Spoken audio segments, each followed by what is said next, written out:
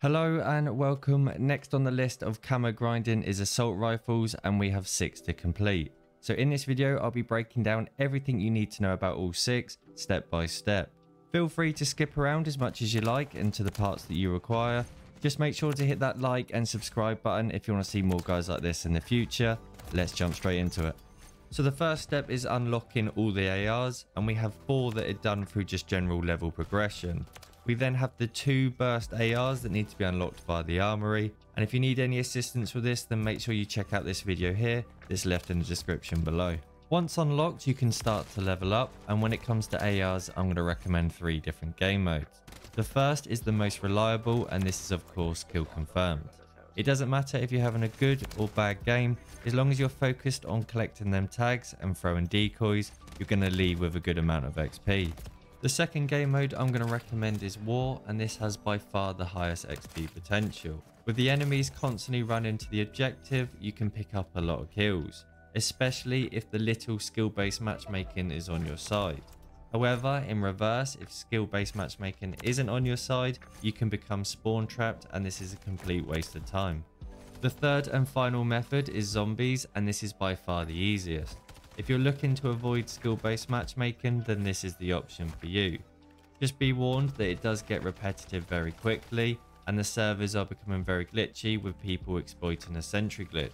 If you need any help with any of these methods, then make sure to check out this video here, which will also be left in the description. Next up, we have 24 different camos that will be unlocked across four basic challenges. These are the same for all six assault rifles, and to be honest, they are a little bit too easy. For game modes, I'd recommend either War or Hardpoint, as these are both faster based objective game modes that allow for more kills.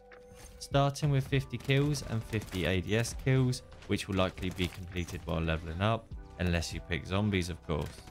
The third challenge is 15 headshots, and for the headshot challenges, I always recommend using a red dot sight. I find it a lot easier to be more precise with a red dot than I would do an iron sight or a magnified optic.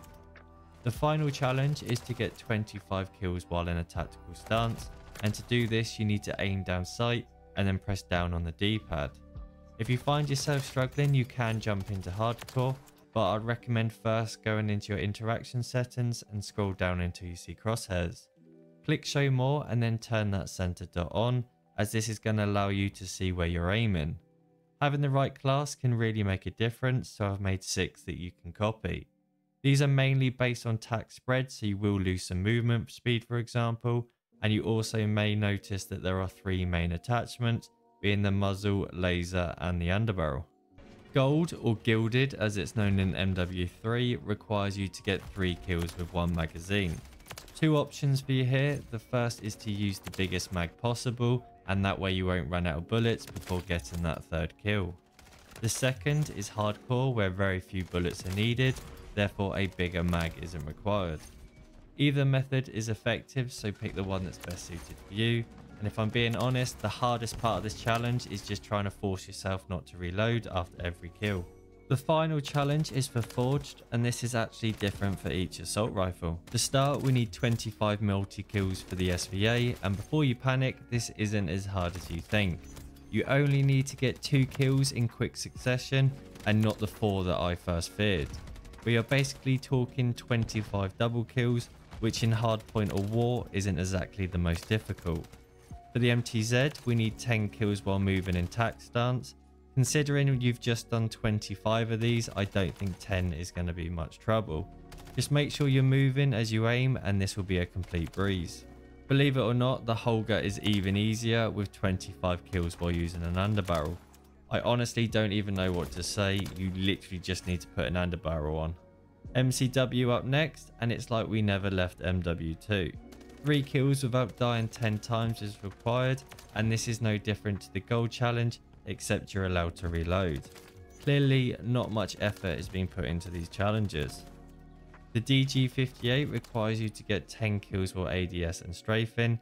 This basically requires you to aim in and walk sideways while firing. Again, as long as you're moving, this is going to count towards the challenge. Finally, we have the FR 5.56 and 21 burst kills are required. For this, I jumped into hardcore hardpoint where I was guaranteed to get one burst kills. This can be done in normal if you prefer, but the damage seemed inconsistent, so it was just safer to switch to hardcore.